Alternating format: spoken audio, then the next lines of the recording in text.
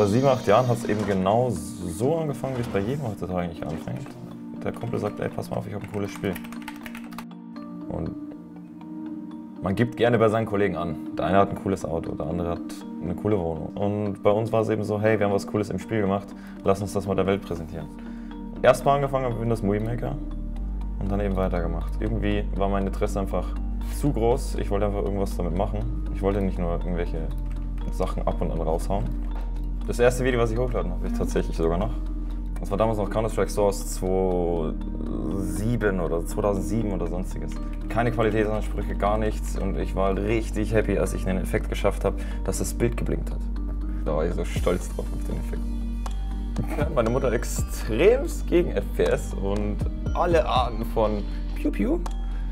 Also musste ich ihr erklären, pass auf Mutti, ich mache Videos. Irgendwann findet sie die Videos, gut, äh, Counter-Strike, ja, mag sie nicht, aber sie akzeptiert es, weil ich es mag und hat mich dann dadurch eigentlich immer wieder unterstützt. Und mittlerweile, weil es halt überall in den Arenen und sonstiges ist, dann linke ich denen einfach den Stream von, keine Ahnung, jetzt eh Silver Cologne eben.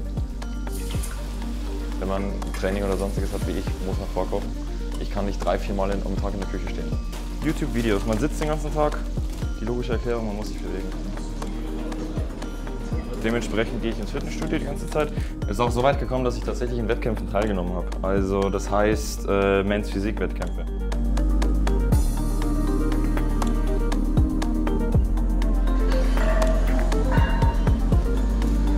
Das ist eigentlich so mein Ausgleich.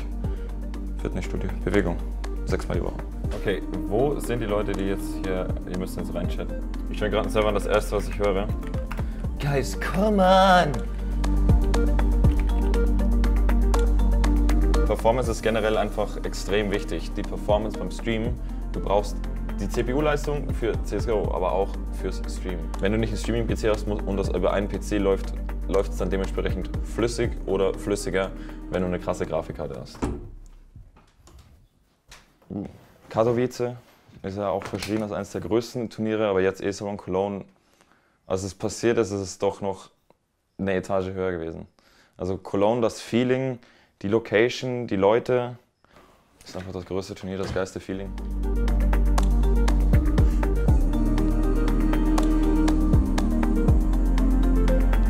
Im Grunde genommen habe ich schon gut viel erreicht, aber am Ende des Tages willst du einfach nicht stillstehen.